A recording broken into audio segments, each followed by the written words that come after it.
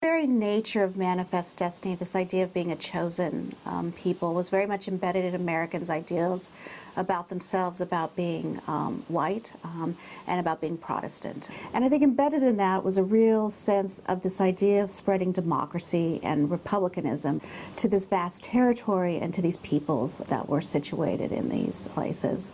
Um, now, of course, what it does is it completely undermines the people who are already there and the land systems that are already there. So in the case of Native Americans who had their own land systems um, in terms of using uh, the landscape for their agricultural um, and for their hunting needs, uh, those systems were completely undermined and overrun uh, by manifest destiny. And when they encountered Mexicans um, prior to the U.S.-Mexican War and throughout the war and at the end, um, they found a legal regime that was very different from the U.S. system, which had been based in this yeoman Jeffersonian idea of the small individual farmer out settling the American West. And when these two conflicting property regimes came into contact with one another, the United States very quickly and somewhat easily actually replaced um, those legal uh, land systems.